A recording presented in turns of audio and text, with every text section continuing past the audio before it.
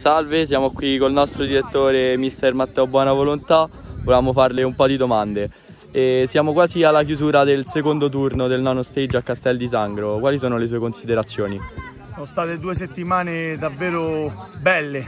perché ci siamo divertiti, i ragazzi hanno imparato tantissime cose nuove, è stato uno stage di addestramento, abbiamo raggiunto tutti gli obiettivi prefissati, in primis formare due gruppi di lavoro coesi tra loro dove valori come l'amicizia, la solidarietà e l'aiuto reciproco sono diciamo, emersi. Naturalmente la componente tecnica, fisica, ordinativa è stata molto molto alta e le aspettative sono state davvero davvero mantenute e al termine di ogni settimana, ora siamo all'ultimo giorno, abbiamo constatato che i ragazzi sono stati bene, si sono divertiti, ma anche noi dello staff, uno staff davvero altamente qualificato, di veri professionisti, solo grazie a loro e grazie alle strutture che ci hanno ospitato